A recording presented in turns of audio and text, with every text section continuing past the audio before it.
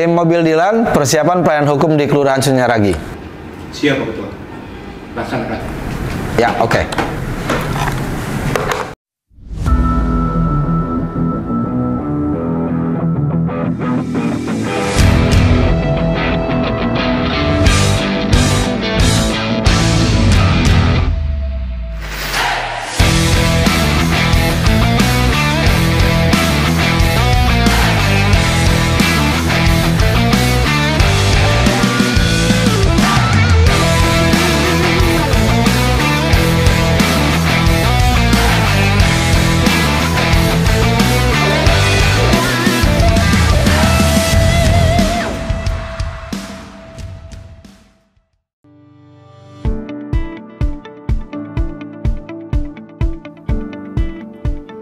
Mobil Dilan adalah mobil layanan pengadilan cepat dan responsif yang menjangkau 22 kelurahan di seluruh kota Cirebon.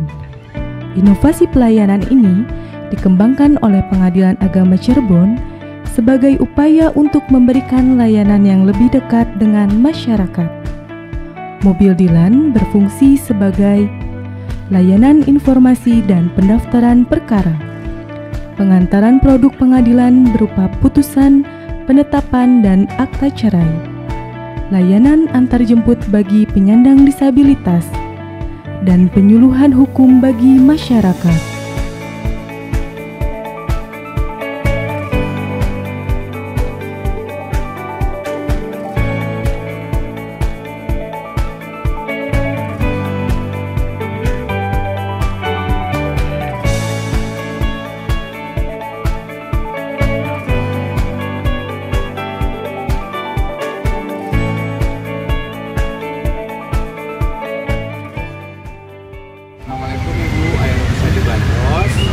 Waalaikumsalam Pak Abdi teh dongkap ka dieu teh bade nuhunkeun tolong ka Bapak nya perkawis nama nyemutan pameget teh ya nu bade abdi cerai teh ya bade nya namung pameget abdi teu biasa nafkah Hmm. Saya perlu mau ngajuin cerai, Pak. Mau ujian cerai emang kenapa ibu?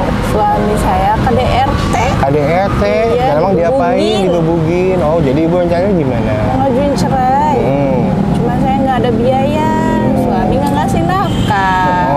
Terus kebutuhan rumah tangga, anak banyak. Oh, jadi ibu mau ngajuin gugatan cerai ke Iya. suami ibu, tapi nggak ada biaya. Ada gratis, Pak. Ada, Pak. Ada, insya Allah. Jadi pengadilan agama Cirebon itu punya banyak inovasi. Salah satunya adalah ya, Pak. pos vakum. Makasih, dibantu ya, Pak, juga ya, dibantu. gugatan mandiri dan segala macam, juga mobil dilan. Soalnya nggak Nanti Tenang Ibu, PA Cirebon punya solusinya.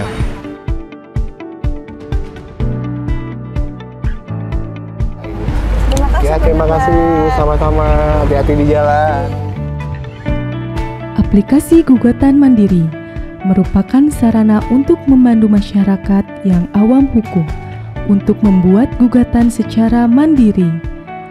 Aplikasi yang dikembangkan Ditjen Badilak Mahkamah Agung Republik Indonesia ini bertujuan untuk kemudahan masyarakat dalam membuat gugatan hukum secara mudah, cepat, dan berbiaya ringan.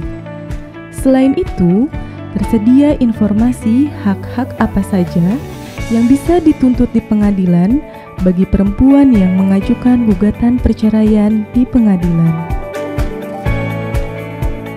E-Court adalah layanan pengadilan untuk berperkara secara online.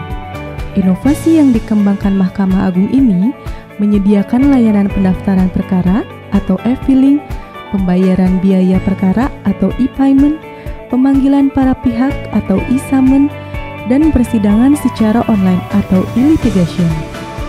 Melalui e-court, dapat menghemat biaya perkara sampai dengan 70% lebih murah dibanding berperkara secara manual.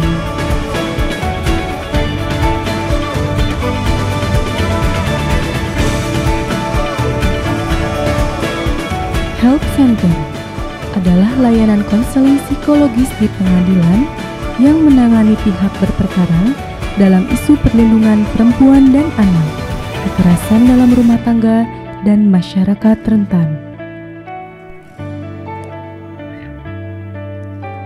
Inovasi yang dikembangkan Pengadilan Agama Cirebon lahir dari kesadaran akan pentingnya aspek psikologis karena tekanan emosional dan trauma akibat konflik yang terjadi. Atas dasar tersebut, Help Center hadir untuk konseling perkara perceraian terkait pertengkaran dalam rumah tangga, kekerasan fisik maupun psikis, konser perkara dispensasi perkawinan dan asesmen psikologi terhadap anak, serta konseling perkara hak asuh anak. Empat, membebankan